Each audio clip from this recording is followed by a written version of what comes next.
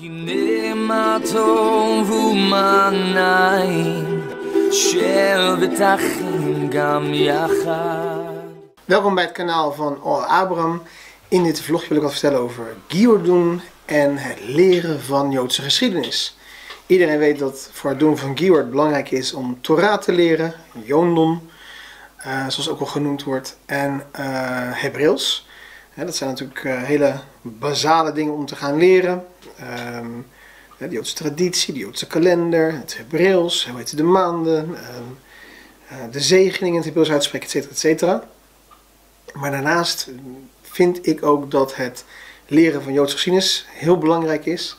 Dat leer je natuurlijk ook al een beetje, of behoorlijk, als je de nacht bestudeert, als je de Joodse feestdagen bestudeert, er zit ook altijd een behoorlijk historisch component in natuurlijk wat je meekrijgt. Um, maar het is ook een absolute aanrader om daarnaast ook nog uh, geschiedenisboeken beter te pakken ter aanvulling, hè, zodat je ook een goed beeld krijgt van um, de historische achtergronden bij nou ja, Joodse feestdagen, de lange Joodse geschiedenis en et cetera. En ik denk dat het met name ook goed is om de Joodse geschiedenis van het land waarin je woont te bestuderen. Hè, dus voor de kijkers hier die in Nederland woonachtig zijn um, en Gior doen, pak ook zeker boeken beter over Joodse geschiedenis in Nederland. De Ashkenazische gemeenschap, de Sephardische gemeenschap in Rotterdam, in Amsterdam.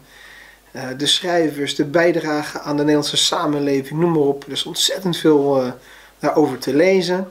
He, niet alleen over de Shoah, maar dus ook over die hele, nou, die vier, vijf eeuwen dat, of meer zelfs, van sommige bronnen van Joodse aanwezigheid in Nederland.